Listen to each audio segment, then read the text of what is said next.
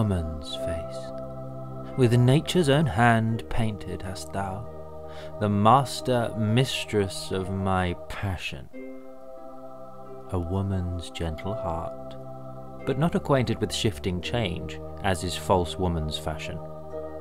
An eye more bright than theirs, less false in rolling, gilding the object whereupon it gazeth.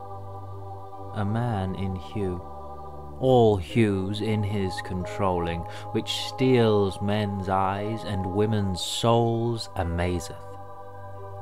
And for a woman wert thou first created, till nature as she wrought thee fell a doting, and by addition me of thee defeated, by adding one thing to my purpose nothing.